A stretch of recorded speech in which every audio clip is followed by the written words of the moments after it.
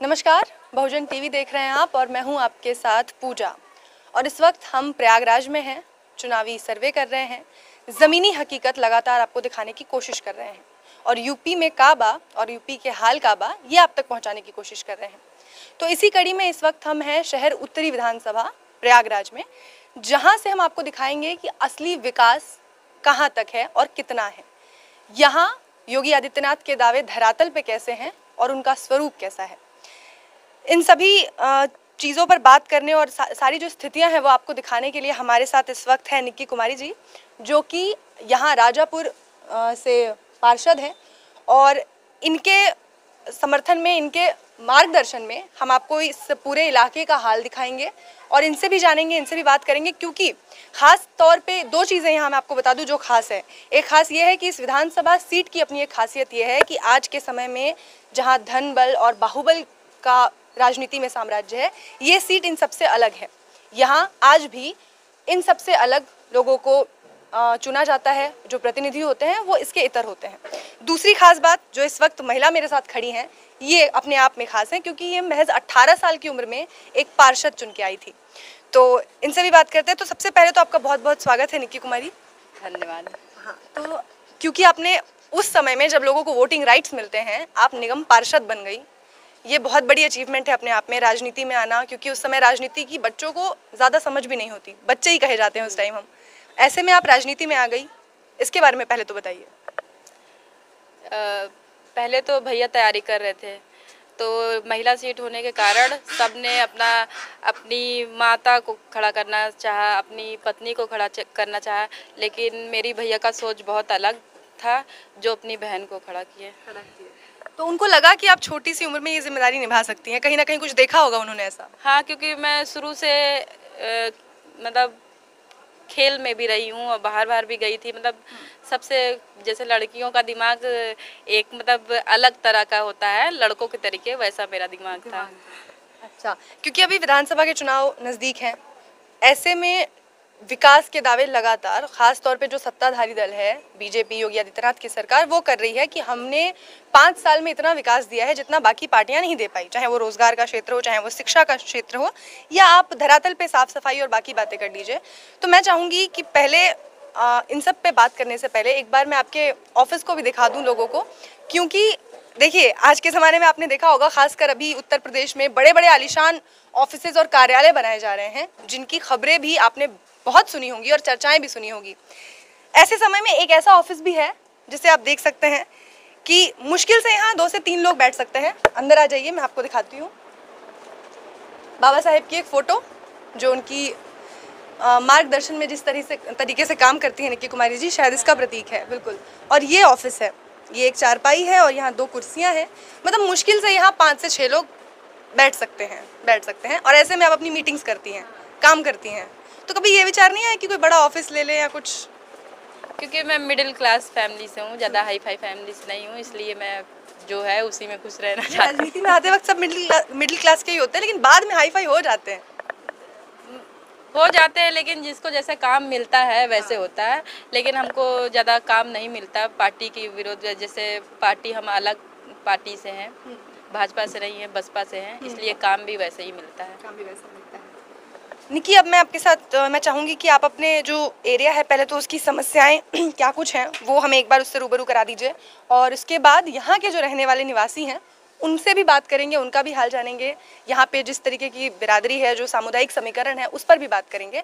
तो पहले तो आप अपनी साफ़ आँखों से देख सकते हैं, इसे किसी को बताने की तो खैर ज़रूरत ही नहीं है। ये खुली नालियों में बहता विकास आप देख सकते हैं। तो इस पर तो किसी को कुछ चर्चा करने की ज़रूरत ही नहीं है। निकी, चलिए आगे चलते हैं और आपसे जानते हैं ये सब। ये हाल ऐसा मतलब कब से है? जब से ये गलियाँ बनी हैं तब से ऐसे ही हाल है? तब से ऐसे ही है। ये नाला साफ़ हो रहा था तो ये टूट गया था। नाला तोड़वा करके साफ़ हुआ था तो वो मैं बार बार लिख करके दी हूँ निगम में लेकिन आज तक ये गली नहीं बनी है। और मतलब यहाँ इतनी बदबू आ रही है क्योंकि यहाँ लोग रहते हैं और बीमारियों के ऐसे समय में एक तो खास करके बीमारियों का खतरा ऐसे में तो बीमारियों का खतरा भी बढ़ जाता है।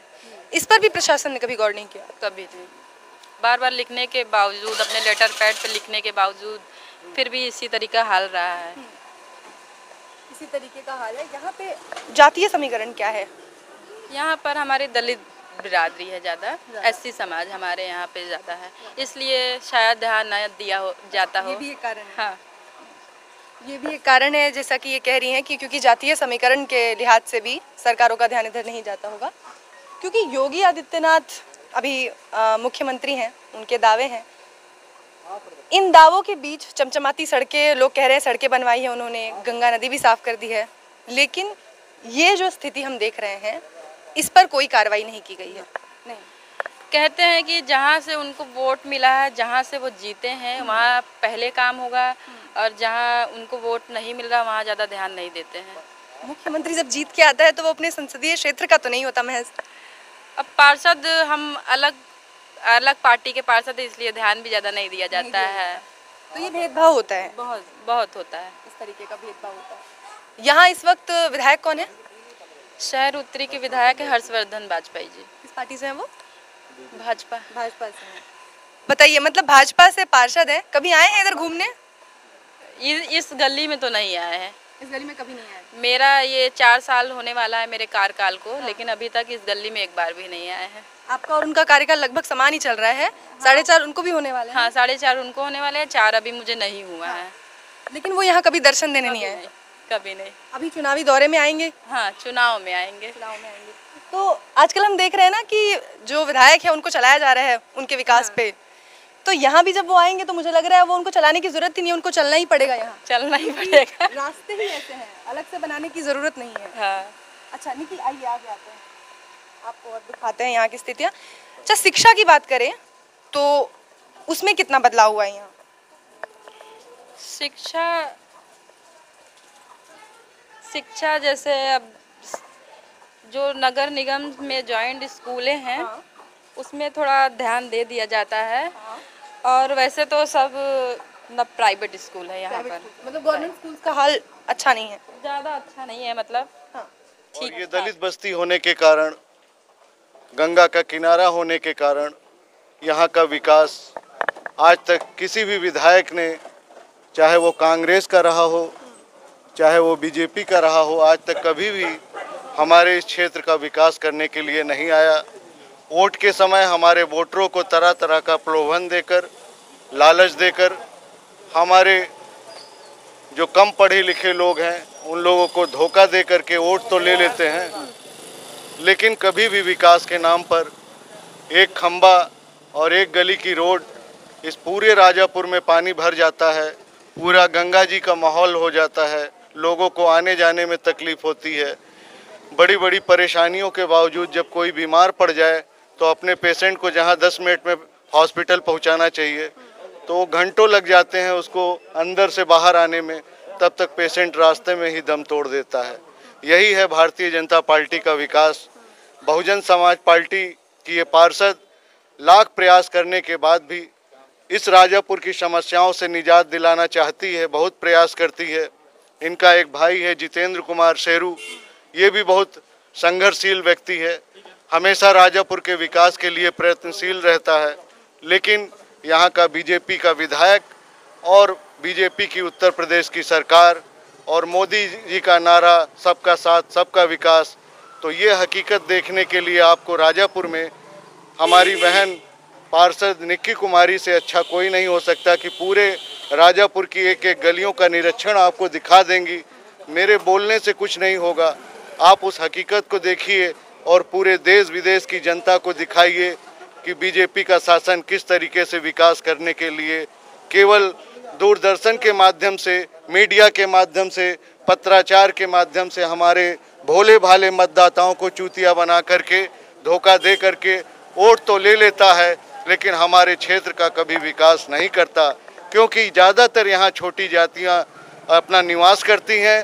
वो कहते हैं कि छोटी जातियाँ को चूतिया बनाना तो हमें वोट के समय, जब वोट का समय आएगा तो हम चूतिया बना लेंगे, उनको बेवकूफ़ बना देंगे।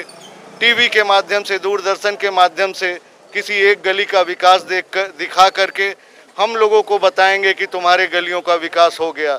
लेकिन, जब धरातल पर कोई व्यक्ति आएगा, तब यहाँ की हकीकत से अवगत होगा कि राजापुर में विकास, यहाँ की सरकार ने क्या किया है, यहाँ के विधायक ने क्या किया है पेपरों में तो बहुत दिखाया जाता है कि एक एक गली की विकास यात्रा निकाल रहे हैं। गलियों में बहुत विकास हो गया है और सारे तार इलेक्ट्रिक के पोल आपको बिल्कुल लटकते नज़र आएँगे। यहाँ बहुत से जानवर इस गलियों से आते जाते हैं। वो भी बारिश के समय खम्भों में करंट आने के कारण वो मर जाया करते हैं।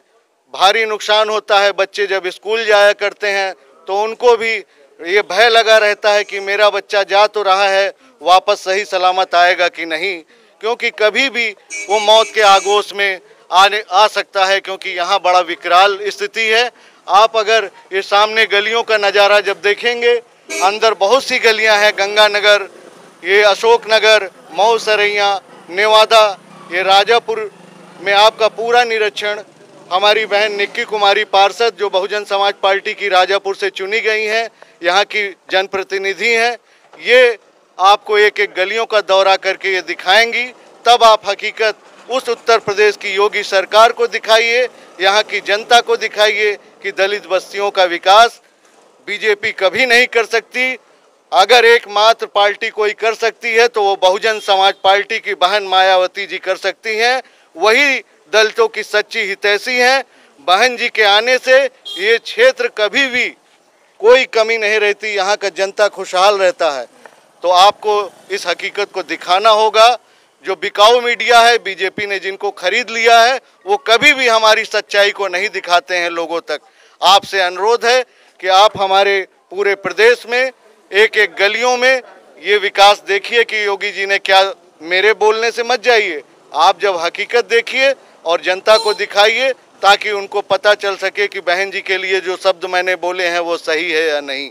बीजेपी कितना बोलती है और कितना करती है उसकी हकीकत भी सामने आ जाएगी। ये रोडें हम जब से जीते हैं तब से न जाने कितनी बार लेटर पैड पर लिख करके देने के बावजूद भी आज तक ये रोड नहीं बनी है। यहाँ कोई कार्रवाई नहीं होती है। नहीं। एक, एक सवाल और ये है कि क्योंकि विकास कहा जा रहा है कि घर घर पहुँचा है हर जगह गया है। इन रास्तों से चल के अगर विकास आया होता तो शायद ये रास्ते ऐसे नहीं होते। ऐसे ना होते। हाँ तो ये तो ज़ाहिर है कि विकास लोगों के घर तक तो छोड़िए इन रास्तों तक भी नहीं आया रास्तों तक भी नहीं आया क्योंकि कुछ आसपास के आपके लोग होंगे जिनकी राय हम जानना चाहेंगे। वो चलिए फिर उनसे ही बात करते हैं उनकी राय जानते हैं। अच्छा आप यहीं के रहने वाले मैं जितेंद्र मेरा नाम है सिस्टर है। अच्छा वो आप ही हैं जिन्होंने इनको चुनाव लड़वाया था? मैं इनका बड़ा भाई हूँ बहुत जितेंद्र बहुत स्वागत है आपका। बताइए मैडम। तो सबसे पहले तो ये सवाल कि आपने अपनी बहन में ऐसी कौन सी खूबियाँ देखी कि आपको लगा 18 साल की एक बच्ची को आप चुनाव लड़वा सकते हैं? मैडम हुआ क्या कि तैयारी मैं कर रहा था हाँ। अपने चुनाव लड़ने के लिए। इस्तीफाक ऐसा हुआ कि महिला सीट हो गई। हाँ। ठीक। तो मैंने सोचा कि किसको लड़वाऊँ घर में। तो मैंने सोचा कि कुछ ने मुझे राय भी दी हमारे सीनियर राय दी कि माता जी लड़वा दो अभी ये बच्ची है नहीं इसके मतलब जानकारी इतनी नहीं है। हाँ। कैसे क्या करेगी आगे चल के? तो मेरे दिमाग कुछ और भी चला कि नहीं यार माता जी तो पढ़ी लिखी नहीं है। ये अभी पढ़ रही हैं आगे इनका भविष्य कुछ अच्छा हो सकता है। मैंने कहा फिर इनको जो है चुनाव लड़ने की तैयारी शुरू कर दी। जब पश्चिमा चेंज हुआ इनको मैंने फ्रंट पे ला दिया बैनर पोस्टर से हर चीज़ से। लाया मैंने इनको फ्रंट पे। जहाँ जहाँ मैं गया इनको लेकर कोई भी अधिकारी ये नहीं कहा कि अरे इक्कीस साल की बच्ची है ये चुनाव लड़ेंगी कितना तुम्हारा एज है बेटा? तो हम ने बताया कि इनका भी इक्कीस साल दो महीना हुआ तब ये पार्षद बन गई थी अपने वार्ड से। अब बस यही चला मैडम। तो आपने मतलब अपनी माता जी को इसलिए नहीं चुना टिकट पे चुनाव लड़वाया क्योंकि उनकी शिक्षा नहीं थी? शिक्षा नहीं थी और अनुभव नहीं था। और ये क्या यंग थी दौड़ भाग भी सकती थी हर चीज़ इनको जो कर सकती थी इसलिए हम इनको चुना था। क्योंकि ज़्यादातर ऐसा होता है कि महिला सीट पे सिर्फ़ चेहरे चिपका दिए जाते हैं कि अच्छा ये महिला लड़ रही है बाकी तो हम कर लेंगे। पर आपने इसके पीछे ये देखा कि वो काम कर कर सकती हैं और हम भी साथ में लगे थे। लगे हुए हैं और आगे भी लगे रहेंगे आप लोग के आशीर्वाद से। चलिए वो तो जनता आशीर्वाद देती रहेगी चुनावों में। आ, तो सबसे पहले हमें ज़रा अपने इलाके में जो भी लोग हैं जो व्यवस्था है वो अच्छा भैया से बात कर लेते हैं। आपका ठेला है? हाँ ठेला है हमारा। नाम क्या आपका? राजकिशोर। राजकिशोर जी। अच्छा तो इसी गली में हमेशा ठेला लगाते हैं घूमते रहते हैं अभी घूम के आते हैं बहुत बहुत रास्ताएँ खराब हैं यहाँ के निकलने निकलने बड़ी दिक्कत दिक्कत है यहाँ पे। अच्छा बड़ी दिक्कत है बहुत दिक्कत है ये रास्तों में चलने में सब परेशानी हो रही है। तो योगी जी योगी जी के राज में तो मतलब सब चमचा चमाचम है एकदम हर तरफ़ तो योगी जी के राज में क्या है सब हम लोग को क्या चमाचम है हम लोग को तो क्या है कुछ मिल रहा है क्या? गली कूची बेचना खाना पीना क्या है? कुछ नहीं। क्या है हमको क्या मिल रहा है? कुछ मिल रहा है क्या? नहीं तो रोज़गार वो कह रहे हैं हमने साढ़े चार लाख रोज़गार दिए कोई रोज़गार नहीं मिला हमको तो अभी तक। आप तो ठेला चलाते हैं। हम ठेला चलाते हैं। तो ये पहले से ही था कि ठेला हम तीन तीन साल से चला रहे हैं ठेला। तीन साल से हाँ लेकिन हमारा कोई उसमें नहीं जो अपना इसी कमाना खाना इसी से खाते पीते हैं ओके। तो यहाँ की जो हालत है आप यही रहते हैं? इसी इलाके में? अभी तो हम यहाँ के नए हैं लेकिन वहाँ थोड़ा दूर रहते थे अभी तो इधर तो दो चार छः दिन आए हुआ हमको।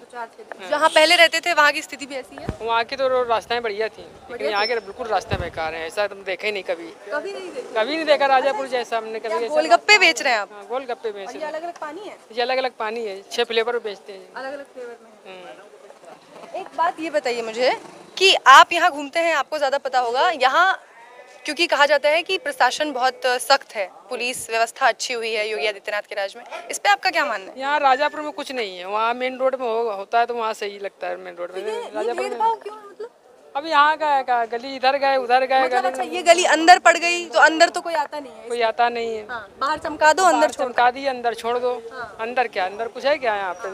लोग देखेंगे तो बाहर बाहर से देख के निकल जाएँगे। इतना इतना पानी हो जाएगा यहीं पे। बारिश हो जाए ना तो इतना पानी हो जाएगा। ठिलिया पलटने के डर सब काहे का डर है यहाँ पे तो? हाँ सब का डर है। तो मतलब कुल मिला के आप ये देख लीजिए कि अगर आपको कोई दिखाता भी है आप भी नहीं चल पाएँगे इसको जैसे बारिश हो जाता आप भी नहीं चल पाएँगे यहाँ पे। इतना बारिश तेज हो जाएगा हाँ। अच्छा हाँ ये सवाल तो मैं आपसे पूछना भूल ही गई आपका वोट किसको जाएगा? अब वोट तो अभी देखो कहाँ जाएगा देखो। नहीं तो दिक्कतें इतनी सारी हैं तो कुछ सोच रहे होंगे ना दिक्कत दूर करने के लिए कोई आए। बीजेपी ने तो किया नहीं। बीजेपी तो किया नहीं है। तो फिर बताइए किसको वोट देंगे? हमको लग रहा है मुलायम सिंह को देंगे अपना वोट मायावती जी को? पंजे पंजे। अच्छा। हाँ पंजे को देंगे। क्यों? मतलब- मुलायम सिंह वही बढ़िया हमारा आदमी हाँ। हाँ। क्यों क्यों ऐसा क्यों? उन्होंने तो सब कुछ किया उनको उनमें कोई हमारी ना महँगाई हुई ना कुछ हुआ हर चीज़ तो महँगाई हो गई उनके तो महँगाई की वजह से ज़्यादा परेशान है आप? परेशान है महँगाई इतनी महँगाई क्या करेगा आदमी? क्या कमाएगा क्या खाएगा क्या करेगा? हाँ। तो आपको लगता है कि मुलायम सिंह की सरकार में काम हुआ था? हाँ उसी में काम हुआ तो हमारा उसी को वोट देंगे इस बार हाँ। मुलायम सिंह की सरकार। और अखिलेश यादव आपको लगता है कि अच्छे हमको वही अच्छे लगे हाँ अच्छे लगे वो। अच्छे लगे आपको? हाँ हमको उनका शासन वापस लाना है आपको? हाँ। मायावती भी तो उनके बारे में भी कहा जाता है कि उनकी व्यवस्था अच्छी थी शासन व्यवस्था भी देखा जाएगा फिर उसके लिए तो भी। आगे चल के फिर भी देखा जाएगा मान लो कहाँ कैसा क्या माहौल चल रहा है उसे। मतलब कुल मिला के योगी जी से संतुष्ट नहीं है आप? अब योगी जी से तो नहीं है तो, कोई फ़ायदा नहीं क्या फ़ायदा है।